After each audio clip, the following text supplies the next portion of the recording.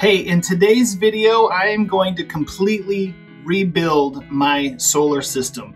Now, as I've been working in my shed, you know, you add components and you change things around and you add a charge controller here and a device over there and a fuse breaker over here. And after a while, it just begins to get messy again.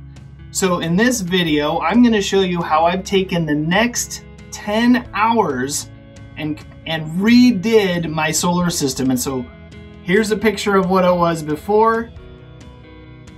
Here is a picture of what it is now. So if you want to see how I did this, continue to watch. Welcome to the channel where we talk about solar power, web technology, and life stories. If these are interesting topics to you, go ahead and subscribe and hit that bell to be notified when we have new videos. So again, thanks for joining us, and we hope that you enjoy the video. So before I did anything, I went online, I went to Amazon and downloaded all of the pictures of the items that I've purchased. And once I downloaded those items, I then printed them out at 100% scale. Just in black and white is fine.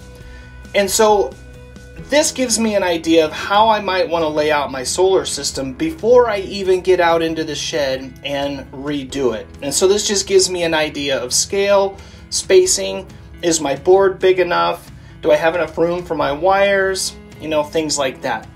Now, little disclaimer here, I did use this to kind of give me an idea, but the end product is not exactly as I thought it would be. I actually think it worked out a little bit better and um, I'll tell you guys why here in a little bit. But this is going to give you a good idea. So this is a time lapse of me working through that process of cutting out all of those pieces of paper, putting them on the board, and just giving you an idea of what I thought might be a good solution to redoing the solar system. So I would highly suggest doing this as well so that you have a good idea of maybe what your system is going to look like and if you have enough room and if your spacing is good, if the board is good, all of those kinds of things. It was very, very helpful. Highly recommend it. I'll leave a link in the description down below to all of the images that I have so that you don't have to go and hunt for them and you can print them out and put them on your board as well. So for the next several minutes, I'm just going to show you some time-lapse videos of me putting together the new solar system and the teardown of the old one. And so just enjoy the music, enjoy watching, and before you guys uh, leave, make sure to get to the end because I am going to turn this thing on for the very first time. I have never done this before, never done a rebuild, and we're going to see what happens after this teardown and rebuild takes place as to what happens when I start it up for the very first time after all of this is done. So you're gonna wanna go to um, the end of the video, watch the rest of the video, and watch this thing start up.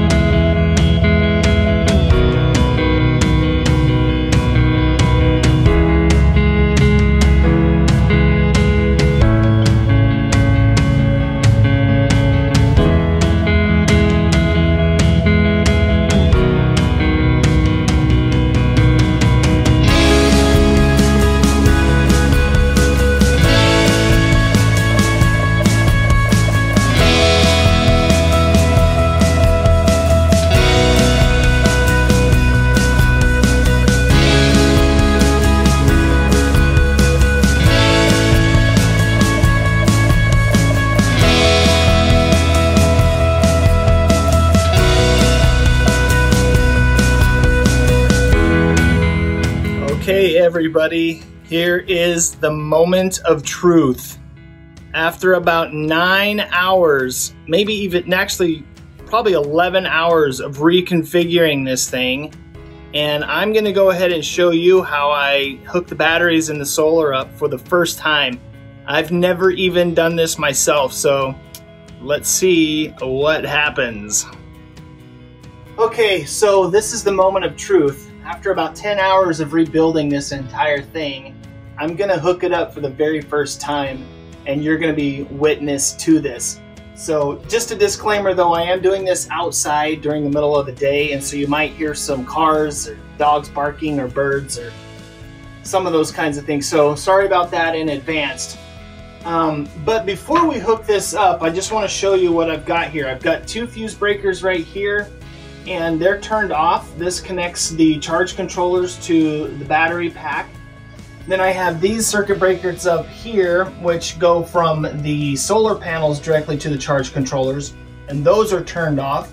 These are turned off, and then this circuit breaker here, which is connected to my step down, that's turned off. So all of the components right now are completely turned off. The only thing that I want to do at this point is to feed power to the inverters from the batteries. Now the first time that you do this, you are going to get a spark and that is normal because the capacitors that are inside of here are have stored up power. And so what I have here is this little ceramic resistor. This is designed to cut down that spark because when you're at 24 volts and higher, it's like a welding arc when you put this on there and, and you don't really want to do that. So what I'm going to do now, and guys, this is where it gets a little nerve wracking, is let's go ahead and put this on here right now and let's see if we can get a little bit of a resistor here um, going. Yeah, little spark right there. Super, super minimal than if you were to just put this directly on there. So this should now have discharged everything in there. And I should be able to go ahead and put this on here without any issues. Let's see. Yep, perfect.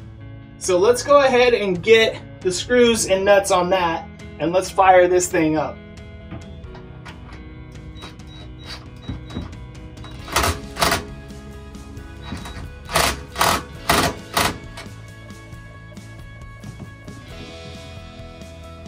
Let's turn the inverter on. Let's see if I get power from uh, the batteries here. Yes, I am. 26.5 at 120 volts, which is lining right up with the battery monitor here. Okay, let's go ahead and turn on the electronic components and do the 12, uh, the 24 to 12 volt step down and let's see if I'm getting power here. Yes, I am. The Raspberry Pi is getting power. The PepWave uh, wireless internet is getting power. And my lights in the shed turned on. So that is perfect. So now the next thing we need to do is turn on the ability for the charge control. Oh, hold, let's see. Now let's turn on power from the solar panels. Okay, so we should be getting, yep, okay, so we're getting power from the solar um, panels to the charge controllers. So now let's turn these on and see if the charge controllers are going to charge the batteries. So let's flip that switch on and let's flip that switch on and it looks like we are charging. The volts is going up, so we are receiving solar power and now the batteries are getting charged. So, oh my goodness, I'm like shaking. This was incredible putting this together and redoing it and it is so much better, so much better of a design. All my wires are laid out and done very, very nicely. So yeah, Really excited. Thanks for watching. We'll catch you guys next time. Bye.